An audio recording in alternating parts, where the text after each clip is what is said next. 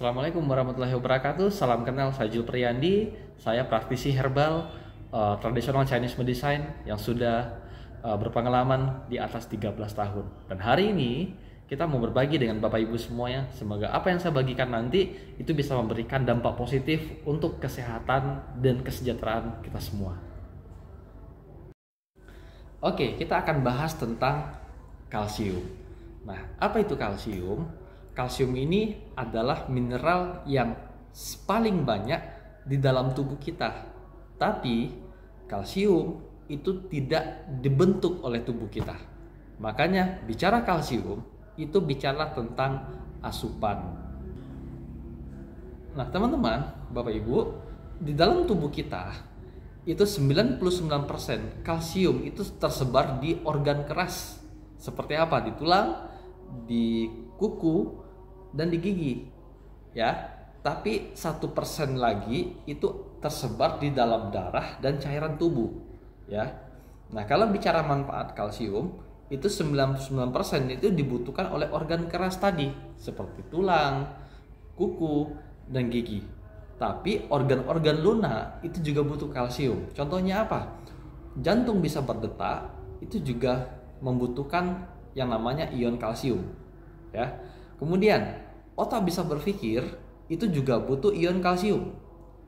Pencernaan kita bisa lancar itu juga butuh ion kalsium. Apalagi untuk kesuburan kalsium juga sangat dibutuhkan sekali. Nah apa yang terjadi ketika tubuh kita kekurangan kalsium?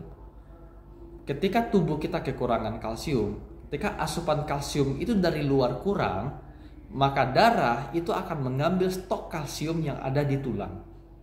Lama kelamaan ketika setiap hari kita kurang asupan kalsium, nah darah akan selalu mengambil dari yang namanya tulang, lama-lama terjadi yang namanya kekurangan kalsium yang disebut dengan osteoporosis.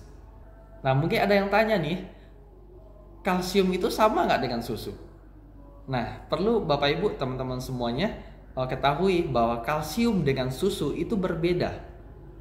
Susu itu merupakan salah satu dari sekian banyak sumber kalsium.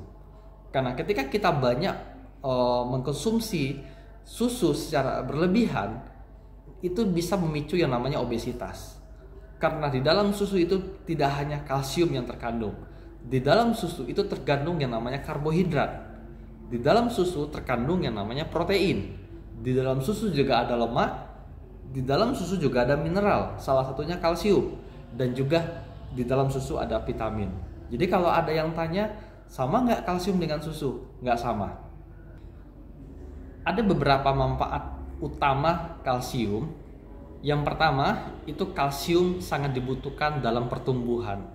Jadi kalau teman-teman, Bapak Ibu semuanya punya anak yang dalam usia pertumbuhan ya di usia 19 tahun ke bawah ini sangat dibutuhkan yang namanya kalsium untuk pertumbuhan tinggi badannya ya. Yang kedua, kalsium juga sangat diperlukan untuk menjaga yang namanya kepadatan tulang ya karena setiap hari tubuh kita itu butuh asupan dari luar, asupan kalsium itu 1000 mg asupan kalsium.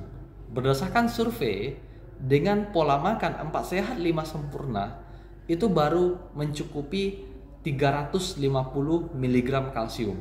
Berarti setiap hari rata-rata kita itu kekurangan 650 mg kalsium. Nah, itulah penyebab yang namanya osteoporosis. Ingat, Bukan hanya osteoporosis yang akan timbul ketika kita kekurangan kalsium, ada 100 jenis penyakit yang akan antri masuk ke dalam tubuh kita ketika kita kekurangan kalsium. Ya. Kemudian, apalagi fungsi kalsium? Kalsium itu sangat penting sekali itu untuk bicara kerja atau kontraksi otot jantung. Kemudian Kalsium itu juga dibutuhkan untuk reaksi enzim dalam tubuh kita. Kekurangan kalsium pada orang dewasa itu bisa menyebabkan yang namanya osteoporosis dan berbagai jenis bahkan di salah satu survei atau 100 jenis penyakit yang disebabkan oleh kekurangan kalsium.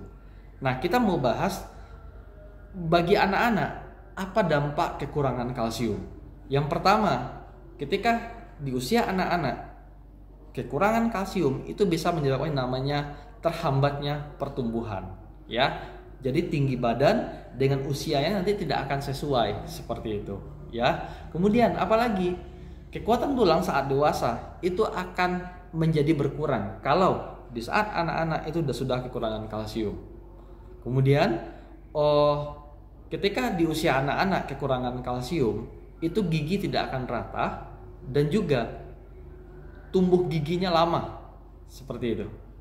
Kemudian oh kekurangan kalsium pada anak itu juga akan menghambat fungsi tubuh yang berkaitan dengan kalsium. Dan anak juga akan gampang terserang penyakit, anak akan mudah lelah, dalam belajar anak akan sulit konsentrasi, ya.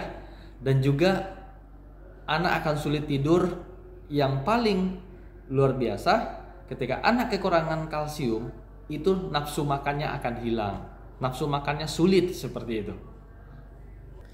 Jadi mulai hari ini uh, Bapak Ibu pastikan kalsium setiap hari di tubuh kita kita perlu asup dari luar. Nah, inilah pengertian dari kalsium, manfaat kalsium dan dampak kekurangan kalsium. Terima kasih sampai jumpa di next video.